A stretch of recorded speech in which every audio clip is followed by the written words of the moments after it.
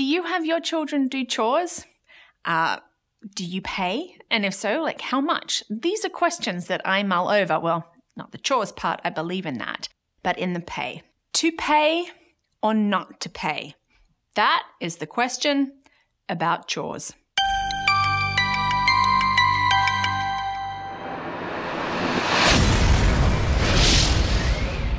Welcome to Learning Life, and this week we're talking about chores and responsibilities. Yes, I believe that children have responsibilities within our families, and I'm not just talking about being the loving, kind, respectful member of the family, which is so very important, and those are values that we really are trying to instill in our girls but also contributing and really being part of it in an active way. Now, sure, our kids cannot get out there and be making money to uh, help, but they can help around the house. And I do believe that that is important. And in those responsibilities, I'm looking at things like chores. And this can be a hot button issue. Oh my goodness, because why should we be getting our children do chores? Like, wouldn't it be easier if we just like cleaned up ourselves? Absolutely. but are we really teaching our children anything?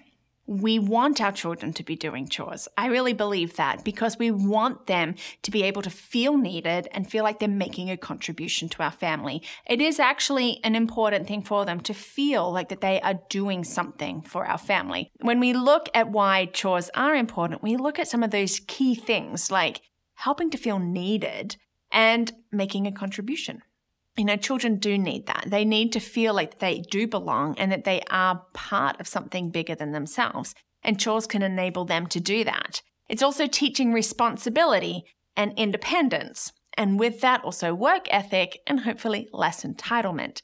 To me, these are all key things that we really can teach through chores. But it does lead to that question should we be paying for chores?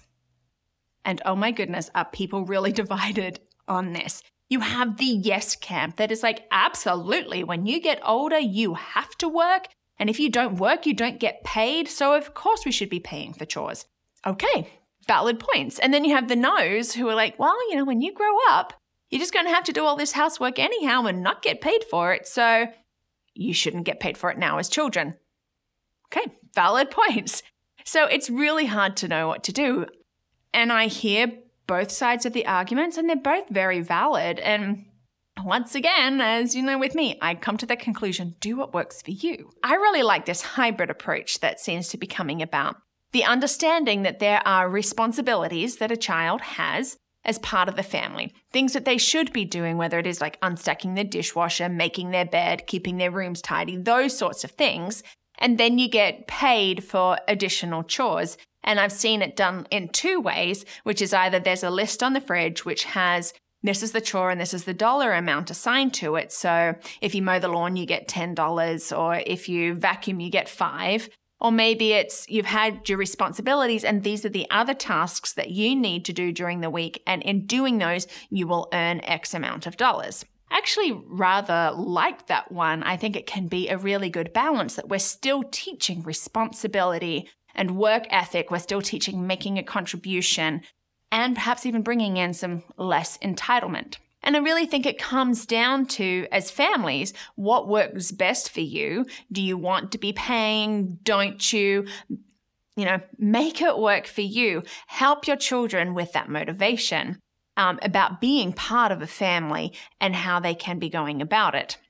Now, whether or not we pay for chores, I truly believe that we need to be teaching the chores, especially if our children are little. We just can't say to a child, put away your toys.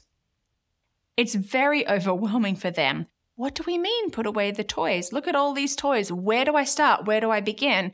And usually, what happens when all those little questions rise up, we get a little overwhelmed and nothing happens.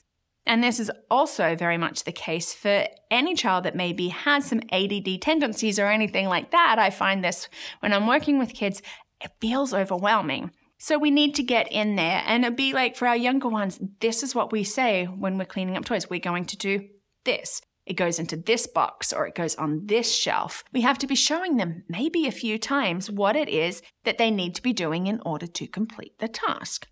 Another thing that I like doing is actually taking a photo of the finished product. This can be great for our younger kids, also those that maybe have some processing issues like, I don't know where to start, or like, what does it look like to finish? Well, here you go. This is what it looks like. This is what your bookshelf looks like. Um, these are where your clothes go.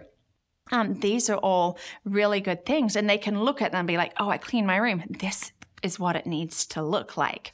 Maybe it is uh, a checklist for older kids if I've done this, this, this, and this.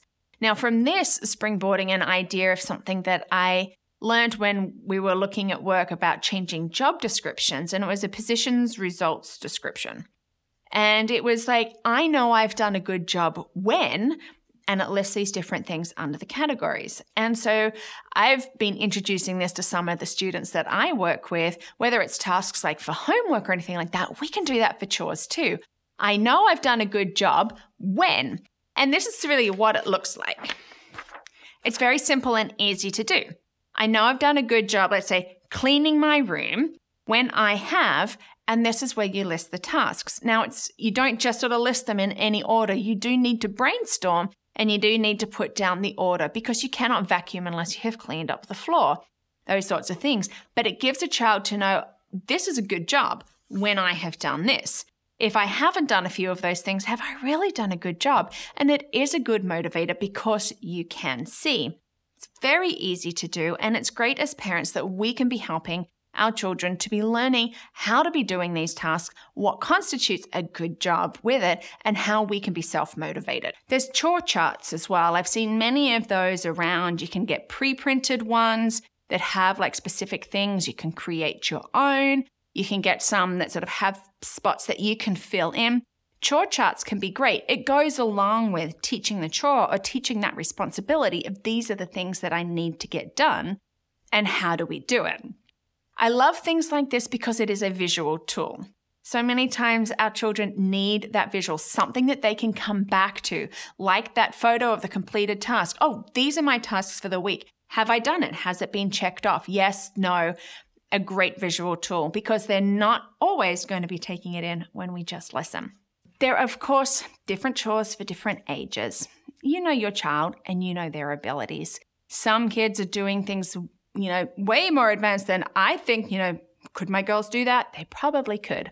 Well, I won't list them now, but they're on on the blog. I have listed in the different age groups different chores or responsibilities that are great for that age group, things that they can be doing. And yes, start as early as 2.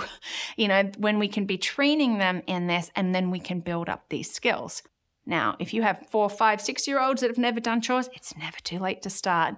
But don't feel like any pressure that they have to do this huge long list or they have to do these things. Do what works for you as a family. So, what is it that you do in your home? For my girls, they're putting away the silverware, the cutlery. They are cleaning up their table after they're finished eating. The plates go into the sink. They are putting away their toys. Well, thank you very much for watching today. And I would really love to hear what works in your family, or even what have you tried that hasn't worked. And do you pay? And if so, how much? Because I'm also learning here. You know, you can get overwhelmed by, well, you're paying this, that, the other, or it depends on where you live. I would love to hear from you. Uh, just leave a comment on the blog or on the video about what works for you, what pay you might do, so we can all help each other with that. So thank you so much for watching, and we hope to see you soon.